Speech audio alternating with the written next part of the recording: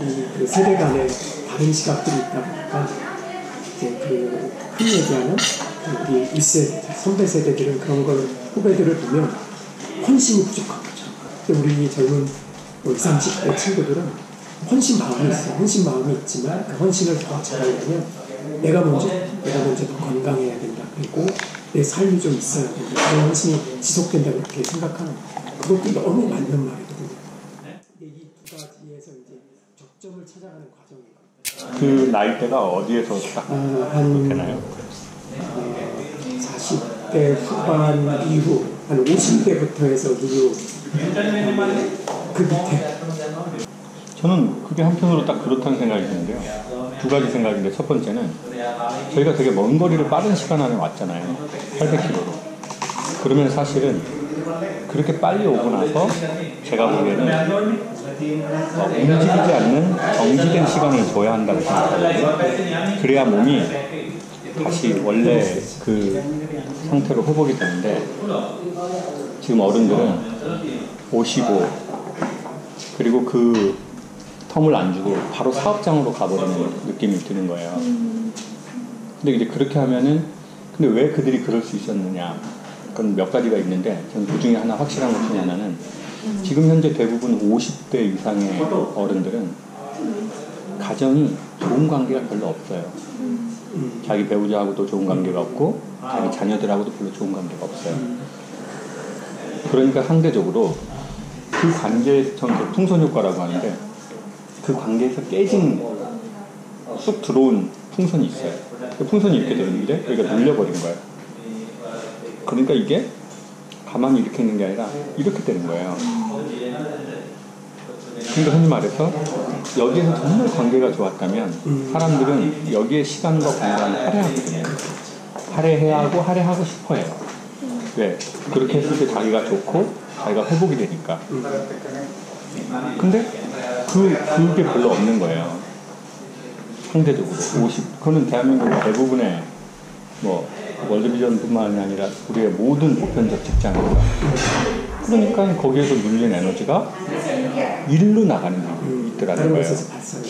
예, 일로 나가는.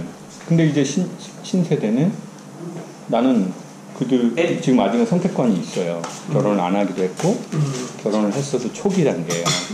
아직 포기하진 않았어요. 하고 싶은 의지도 있고 해야 될 것도 같아요. 그리고 결혼 안 한 사람들은 당연히 더 그게 있고. 그러니까 이들은 그 삶의 균형점인데. 근데 저는 오히려 나중에 그 어른들을 만나게 되면 그렇게 말씀드리고 싶어요. 자, 가난이라는 것이 여러분들이 얘기하시는 관계의 깨짐으로 나온 생산물입니다. 그리고 그 가난은 다시 또 무언가를 만들어냅니다. 그리고 우리는 그 가난을 어, 치유하고자 합니다. 그것은 그 깨진 균형점을 최대, 최대한 균형 맞추려고 하고 회복하려고 하는 겁니다. 근데 그것을 하는 이 단체의 멤버들에게 다시 너의 삶의 균형을 깨라고 말씀하시는 건 무슨 아이러니입니까? 그거는 또다시 가난을, 그러니까 균형을 맞추기 위해서 니들의 균형을 깨라고 얘기하는 것과 똑같습니다. 물론 긴급 구호가 필요한 게 있습니다. 3분의 1. 그러면 직원들에게 이렇게 말합시다. 우리의 특수성이 있기 때문에 너의 삶의 에너지의 3분의 1은 긴급 구호가 필요하다. 그렇지만 3분의 2는 균형을 맞추시는데 주셔야 됩니다. 당신들이 원하는 대로 하나. 긴급 구호 해야 되니까. 그럼 직원들도 나의 삶에 완벽한 균형을 맞추려면 삼성 들어가야지. 근데 삼성 들어가도 안 맞춰요. 왜냐면 삼성 들어가도 또 1억 받으라고 또 조진이거든요. 그러니까 3분의 1, 젊은 사람에겐 3분의 1은 긴급 구호에 씁시다. 오히려 깨진 균형점을. 그렇지만 3분의 2는 어른 세대가 이제는 균형을 갖추라고 줘야 됩니다. 안 그러면 당신네 어른분들이 자랐던 사회적 백그라운드에서 이분들이 자라는 게 아닙니다. 그리고 그 운영 체계로 해서 당신네는 잘 됐지만 그 운영 체계의 유통기간이 사회의 흐름과 맞닿을 수가 없습니다, 이제는. 그거는 월드비전의 젊은이들의 이야기가 아니라 사회와 세상의 흐름이기 때문에 그 파도를 그 어떠한 조직도 이겨낼 수가 없습니다. 그러하니 두 개는 주십시오. 그리고 젊은 세대에게는 한 개는 긴급구호를 해야 됩니다. 왜? 우리가 가는 곳은 긴급 구호가 필요한 곳들이 있습니다. 그리고 어쩌면 우리는 그 긴급하다는 그 구호 안에서 평안함에서 발견할 수 없는 인생의 엄청 깊은 무언가를 발견해낼 겁니다. 그건 당신들이 현장을 가봤기 때문에 아실 겁니다. 결코 평안한 시대가 줄 수 없는 그 긴급 구호의 상황에서만 오직 인간이 느낄 수 있는 그리고 필요한 그걸 우리는 알 수 있습니다. 근데 삶을 너무 비상시국으로 계속 살아가면 안 됩니다. 계속 5분 대기조처럼 살아가다가는 그것 또한 신이 인간에게 주신 자연적 한계를 인간이 자꾸 벗어나려고 하는 행동입니다. 그렇게 하면 이 조직이 이, 이 뗀뗀한 어깨의 근장, 근장 근육을 유지할 수 없습니다. 100년에 하실 거 150년에 하시고 가십시다. 지구에 사시고 싶은 게 있으실 텐데, 네? 우리 다음 세대도 그걸 해야 됩니다.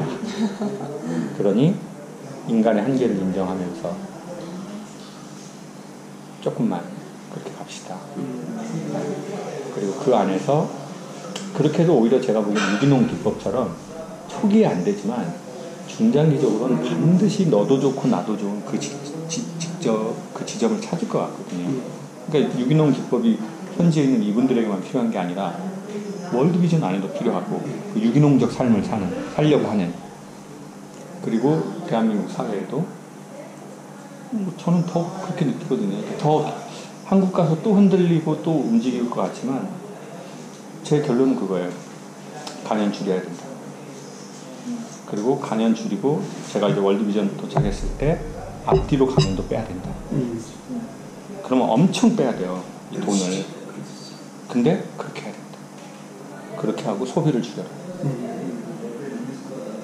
차 하나 팔고 집은 월세로 가고 오토바이가 두 대 있다면 한 대를 팔고 신발이 열 개가 있다면 두세 개는 팔아라. 그리고 그것 안에서 삶을 진짜 쫀득쫀득하게 사는 삶을 네가 경험해갖고 훈련해야 된다. 그렇지 않다면 계속 삶을 뒤로 미루는 것이다. 결단을 내리고 용기를 갖고 해봐라. 그게 네 삶의 유기농 기법이다. 음. 안 그러면 계속 농약 쳐서 지금 계속 수확량 올리면서 그렇게 하는 거예요.